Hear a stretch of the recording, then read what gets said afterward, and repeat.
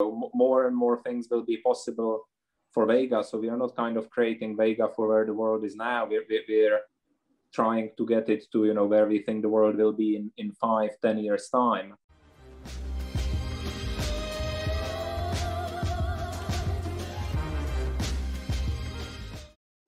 What's up, guys? Today we're going to be talking Vega Protocol, an extremely ambitious project that's aiming to bring DeFi to the next level. We're going to give you all you need to know pre ICO, and in order to do that, we've got David Siska, Vega's head of quantitative research, to come and chat to us and paint a picture of exactly what it is Vega's is going to be doing over the coming months and years. If you appreciate the work we're putting in and the content we're putting out, give us a like and subscribe. As a small channel, it really helps us to get seen. Cheers, and I hope you enjoy it. I'm here. Yeah, yeah. I, I, thought you froze on my thing. It's all good. Um, so thanks for agreeing to basically do our job first, David, and explain to us exactly what Vega is. Um, when I first started looking at Vega and heard it was a decentralized exchange, I was thinking that the idea was to compete with Uniswap, PancakeSwap, and all the other dexes, but that's not exactly what Vega's shooting for, right?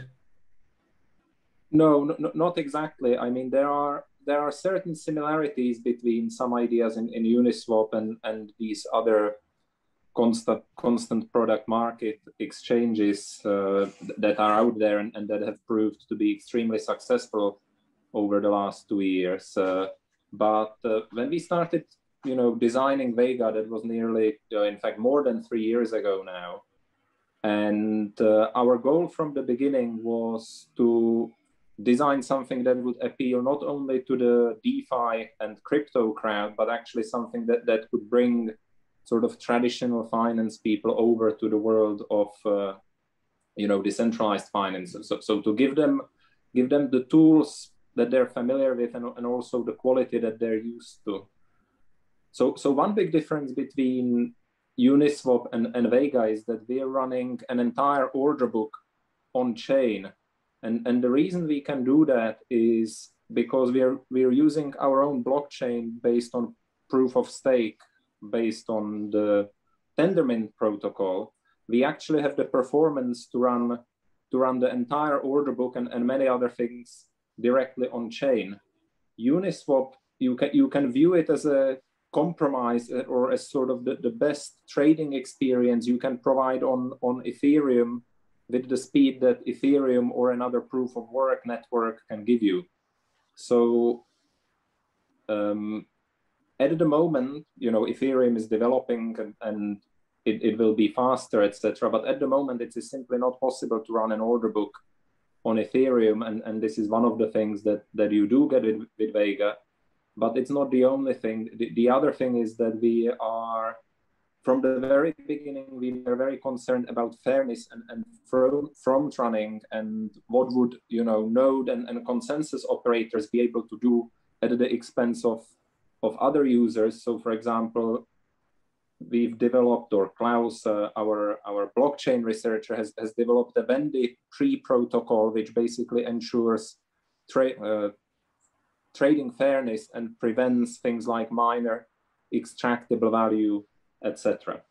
So that's kind of one line of where we are very different from, from Uniswap. The, the other angle is that Uniswap, etc., they, they're all spot exchanges in the sense that, you know, you want to buy Ethereum and you're paying with, say, USDC and, and you do swap, you know, and, and your wallet, you know, USDC goes out, Ethereum goes in, and that's the trade done and it's over.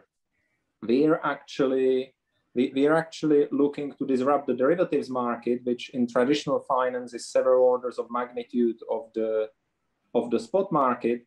So on Vega, what you what you're trading are derivatives, and that's much more exciting because there is a trade life cycle. The moment you enter the trade, in fact, you you, you open a position, you basically make a promise that something can happen later, and then you know if the market moves in your favor, you can close the position and, and take your profit. If the market starts moving against you, you have to keep the margin, but the exchange, you know, they'll keep your position open. And quite often, you know, the market turns around, as we've seen mm-hmm. in the mm-hmm. last couple of no, days. Of course. things can look pretty bleak, and then they turn around. So, yeah, but but unlike Uniswap, uh, Vega is designed primarily for derivatives trading. So the end game here is to incentivize traditional finance people to move towards DeFi by providing traditional trading vehicles within crypto, which of course, I mean, this is a huge undertaking, uh, but one with potentially massive rewards.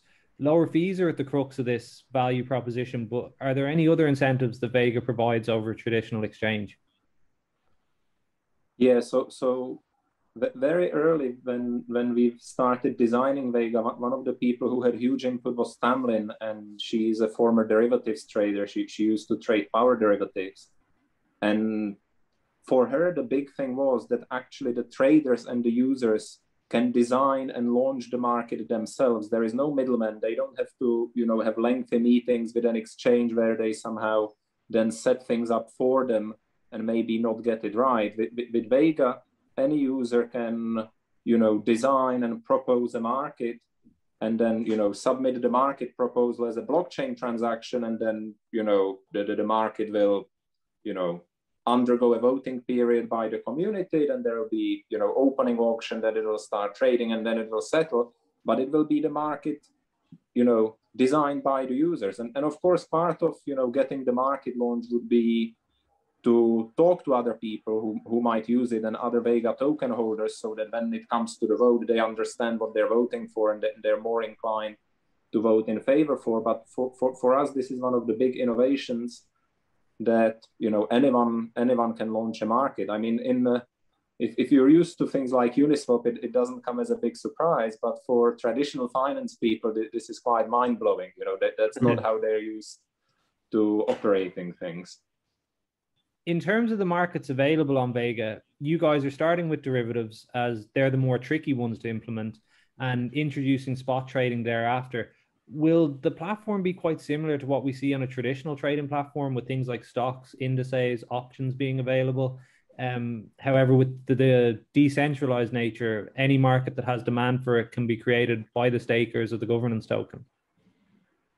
Yeah, so that absolute that is absolutely one angle through, through which you, you can view it. We are expecting, uh, you know, to, to have spot markets. Of course, for a spot market, you need you need crypto native assets. So when, when you say trading stocks, it, it would be maybe I, I don't know. You, you've seen Terra and, and their M assets, which basically mirror certain stocks that are traded that are traded elsewhere. So once we have a spot market you, you should be able to trade these mirror Terra assets as, as, as spot, but you wouldn't be trading that the the traditional stock. Of course, if we you know put our look into the future goggles on and, and think mm. that maybe you know stock ownership etc will be on chain at some point eventually as well, then it might be possible. But but then we are really we, we're really talking far into the future. But but another angle to, to view Vega through is that we really, you know, creating a protocol and, and in some sense an infrastructure layer.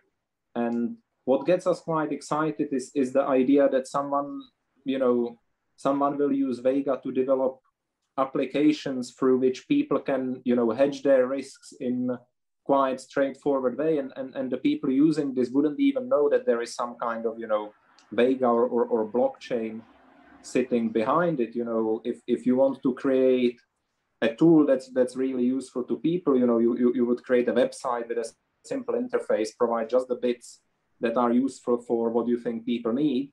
You as the application provider may be the one who launches the market but the people actually using it they wouldn't see vega. They would see your application.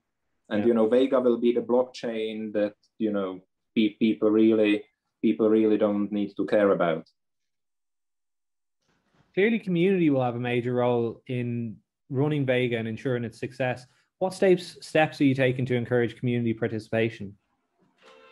Yeah, so for, for us, and, and I mean for all DeFi projects, you know, community is hugely important because of the way it is involved in governance, and they are the ones who basically provide the security of the network through, you know, delegating their tokens to trustworthy validators. So, so, so, so they're extremely important.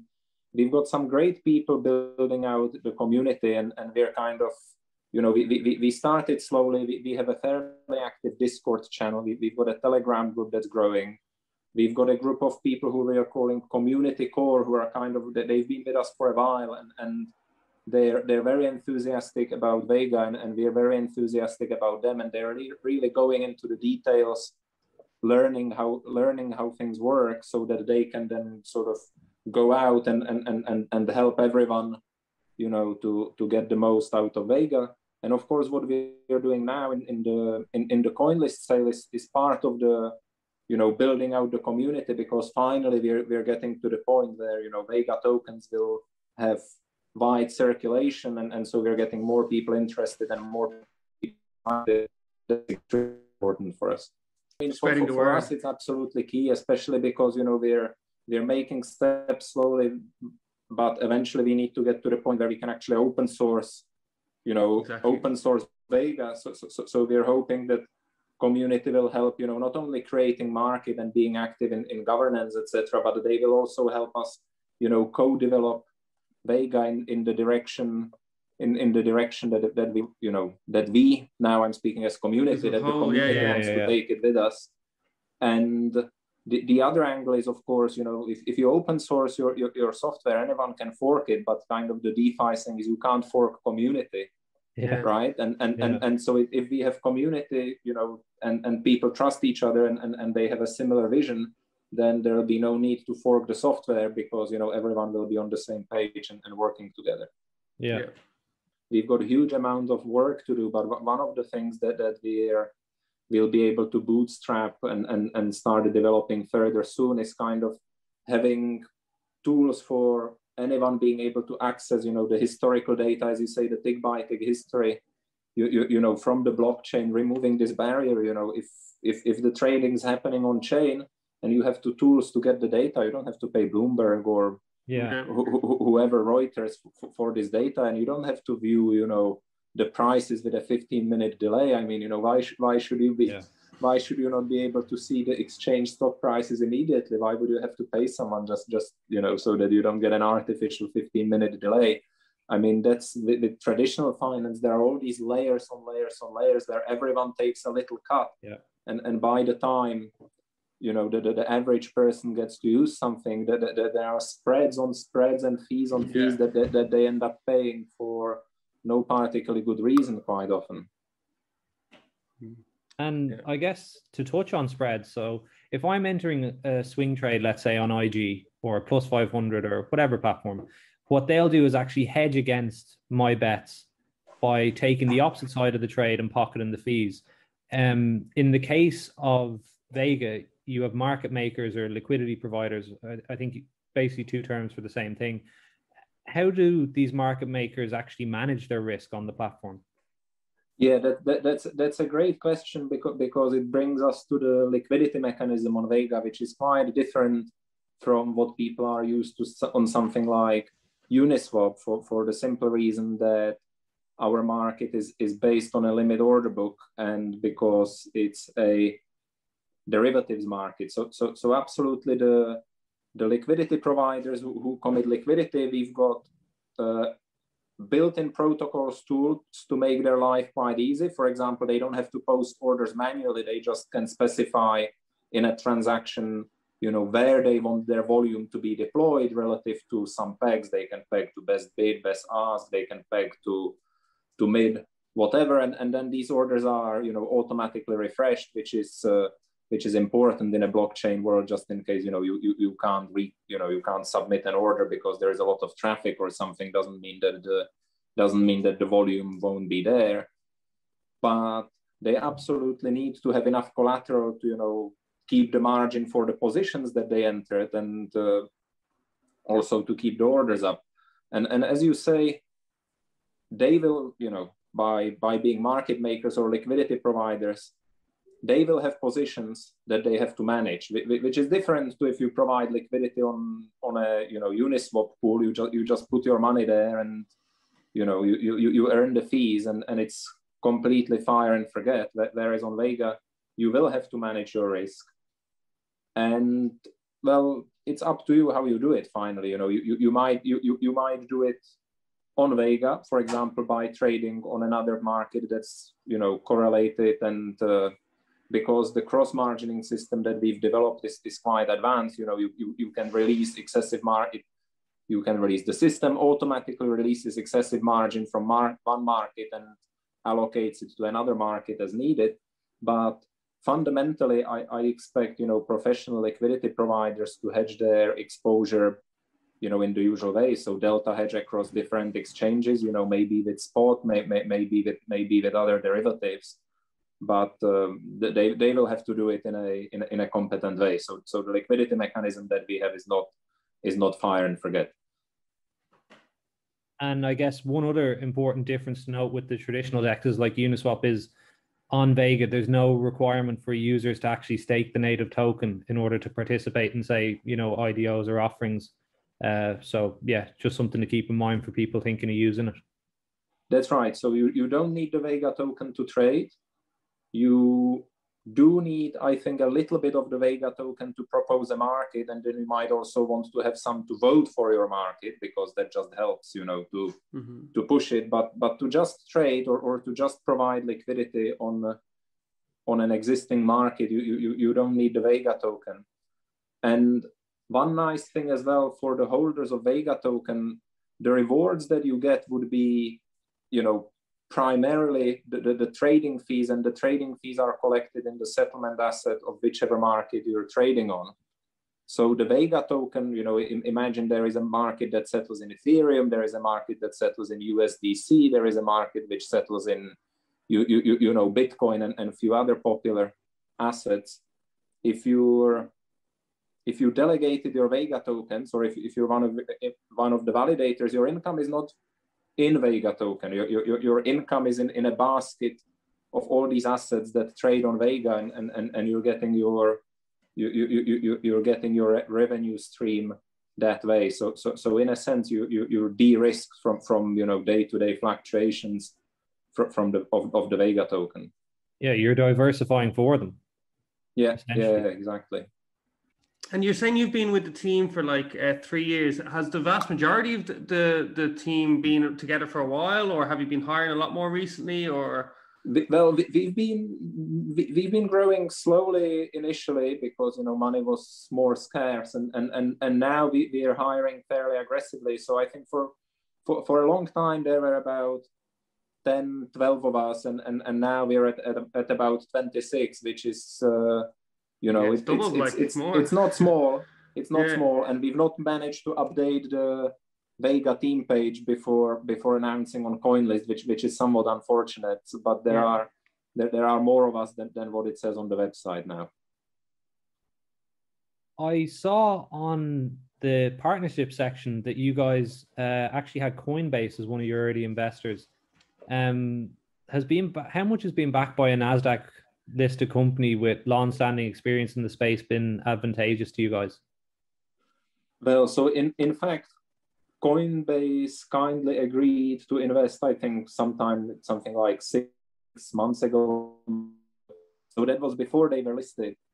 And, and in fact, our investor is what, what they're calling Coinbase Ventures, which I think is quite, you know, arm's length mm. from, uh, fr- from Coinbase itself. So, so as far as I know, we've not had, you know, we, we, we've not had any input from Coinbase people as such, but but it's clear that you know they they think that you know DeFi and, and decentralized exchanges have, have got future, and, and for them this is this is one way of kind of you know hedging, or, or, whatever yeah, yeah, yeah. call it. Right? they should create a market themselves on Vega, on Vega. and it certainly well, I mean, it, it bodes well for a major listing at some point, right? Well, it's uh, you know we, we, we, we, are a blockchain project, so so so so the listing is the, the listing is effectively now, right? That this is the oh yeah the, the, the, this this is the listing. This is it. This is the big one. Yeah. Fair, fair, fair. Um, and were there any other partnerships that you were particularly excited about securing with Vega? So we are. I I can't say that very much now because I I might. Uh, I, Get I yourself in trouble. Thread on oh, you some can, toes. You, you can tell your have, bros at Brokenomix. we are we, we are talking with you know we're talking with number of people but especially with terra we should have something pretty exciting to announce soon but but i can't say i can't say anything more at this stage Perfect. so i understand david there's token rewards for those using the vega testnet over the coming week do you have any details on this yeah, so so we've not announced anything specific yet, uh, but if you want to get yourself in a in a good shape, you know, make sure you have a wallet, make sure you know how to place a trade, try to make a profit. It should be fairly easy because we, we we're running some very stupid bots on, on testnet. So if, if you can't if you can't make profit against them, you know you, you you're we're, definitely we're in trouble in the real world. world. okay if you can make a profit against the bots that we have, you know, don't don't, don't go and, and start trading on a real exchange very confidently just yet because they are they are very stupid. But the but the, the incentives on, on the testnet will be in form of, you know, for example, trading games. So so we will, you know, launch a market, give people certain asset that they actually can't get an unlimited amount for, and, and then we'll say, right, three days, whoever makes the most you know wins and then the top three or the top five or, or top 10 whatever will, will, will be getting some tokens so and if, if you want to do sort of prepare get yourself prepared then this is the kind of thing you, you should be thinking and we'll uh, we'll drop links for that in the description Hundred percent. cool Yeah, definitely. So thanks a million for that, David. Uh, really, really appreciate you coming on. Um, great explanation of Vega. Pretty straightforward va- value proposition for quite a complicated uh, product in terms of its makeup and, and what goes into it. But I, I think the benefits are pretty clear and there to be seen by everyone. So thanks a million. Appreciate it. yeah thank, thank you for your time guys Thank you Cheers. very much, David.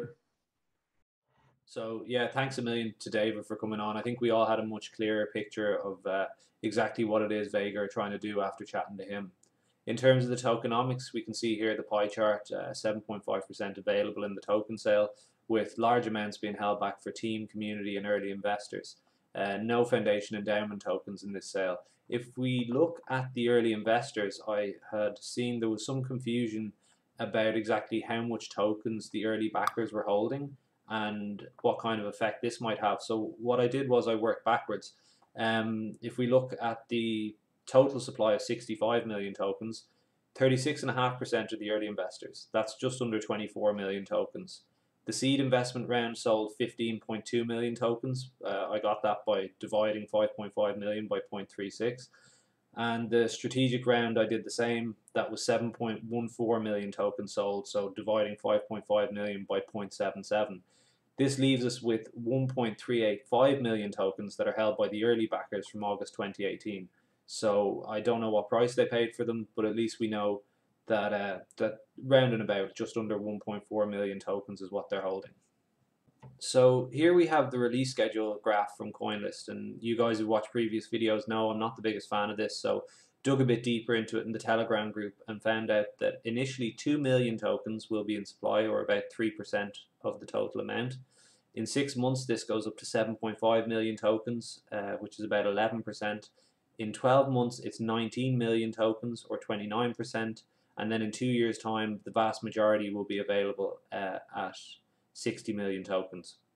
So, with the model that Vega have, whereby anyone who holds or stakes these tokens can create a market, and via the reverse au- auction process, they can uh, pocket the fees from the markets that they create. There should be, if this takes off, an interest in lots of people hanging on to these tokens and using them to get a return on their money by creating these markets. So at the end of the day, it comes down to adoption. If the platform's popular and people are using it, and people see the vision or share in Vega's vision, then a lot of these tokens won't actually be, you know, in circulation. They'll be held up and staked by people, although they can, strictly speaking, be considered part of the circulating supply. Um, one really encouraging thing about it was that the seed and strategic investors actually have a one month and two month longer lockup than the option three CoinList sale, which I, I thought really uh, was something I hadn't seen before. Uh, maybe let me know if I'm wrong, guys. Correct me in the comments, but that, that wasn't something I'd seen before. And the um, yeah, just really encouraging and speaks to the long term thinking that these guys have of their project. That they're just like, yeah, you guys buy it on CoinList. Come on, go ahead and trade it. Our seed and strategic investors are uh, happy or at least willing to hang on to their tokens for another month and two months. In terms of the CoinList sale itself, uh, three options for 7.5% of the total amount of tokens. Option 1, the cheapest at $5 per token, 12 month lockup, 12 month release period. Option 2, $10 per token, 6 month lockup, 6 month release period. And option 3, as we spoke about, freely trading after 90 days ahead of the seed and strategic investors. Um, there are another uh, allocation of community tokens and also those for early supporters of the project that were available at I think two dollars. Uh, these are not coming out of the 7.5%. They're in, from the community section of the token distribution. So, I mean, this is you know a very personal choice in terms of which option you would decide to go for. Uh, it depends on how you value the project, how you see it playing out long term. Uh, you know, locking up tokens for a total of two years is you know obviously less control, I guess, over your, your money and price action than a 90 day trading lockup. But at the same time, the incentive is there in terms of uh, it's one third the price, and also you know with uh, staking rewards and things like that. So yeah, a decision I think certainly in terms of this one, everybody has to look at personally. Um, having chatted to the guys in Vega, looked at the partnerships, looked at what they're doing, uh, and having traded myself, uh, swing traded and day traded for a few years, uh, you know, th- there is a huge market here they're trying to tap into.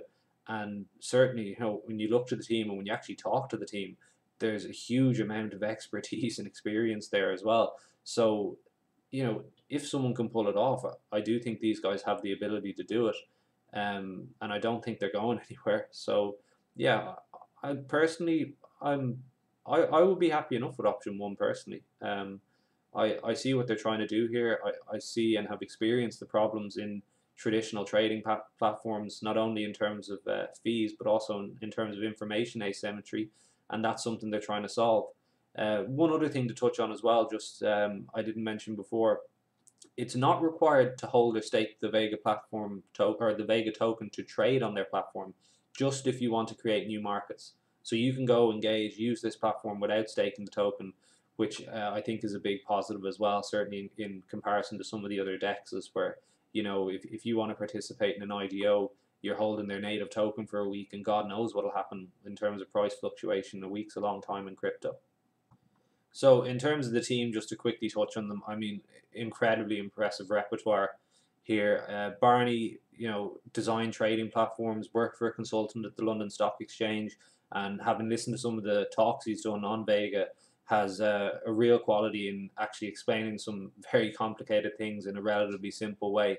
Klaus designed the first practical protocols for asynchronous, or asynchronous ordering, which uh, I don't know what it is, but that sounds incredibly impressive. Uh, Ed also, you know, experience in building software for Fortune 500 companies. Tamlin Rudolph, who was a derivatives trader for a long period of time, uh, led a 10 billion hedge fund um, you know, and established a 100 million prop trading fund. In David Siska, who we chatted to, head of quantitative research, you know, clearly a really smart guy, really nice guy too. Rebecca Simmons, 25 years of experience in technology and data marketing.